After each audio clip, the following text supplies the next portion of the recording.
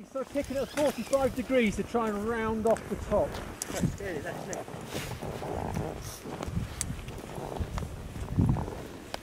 You need more rotation, Phil. Can you, are you seeing into it? This thing's huge. Okay, I'm just going to nip down there. Might just tie a knot here. I would say so. Is it falling off? The bags are on. Ah, this one. So that.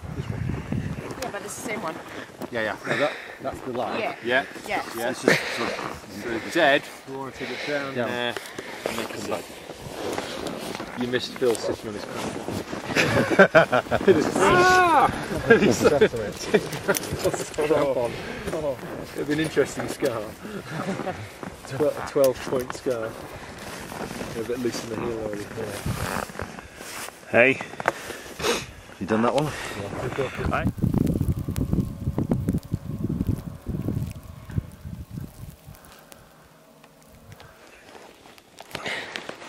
Good afternoon. It's uh, Saturday, my day off.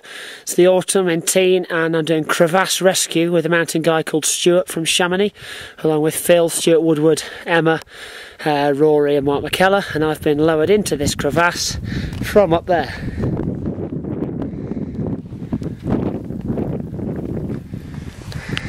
Currently held on by this ice screw,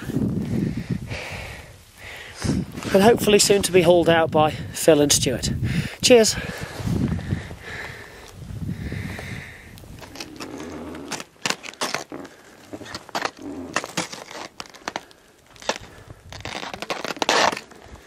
Currently being hauled out.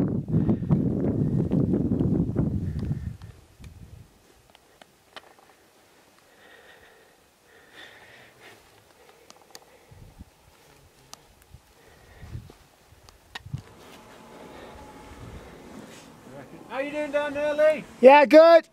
Not far. Could be up this time. Hello there, Phil. Oh yeah.